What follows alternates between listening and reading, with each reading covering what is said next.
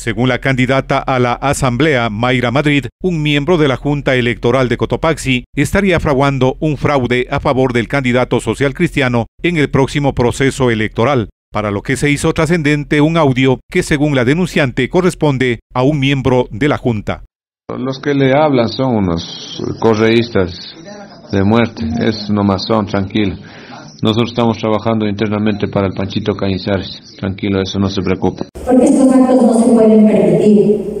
Presuntamente, esta voz del vocal de la Junta Vallardo Majinga. ¿Quiénes los han puesto ahí? ¿Para qué? ¿Con qué visión están ellos trabajando? ¿Quiere también la lista 6 apoderarse de nuestra provincia? En este momento nosotros Electoral que haga una investigación de manera inmediata y pedir la destitución. ¿Para qué? Para que el pueblo de Cotopaxi tenga la garantía, como dije anteriormente,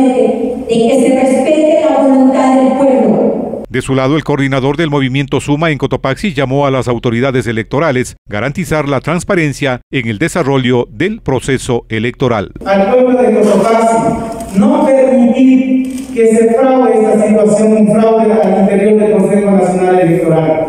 Nuestra pregunta es, si es que el Consejo Nacional Electoral tiene a sus asambleístas elegidos,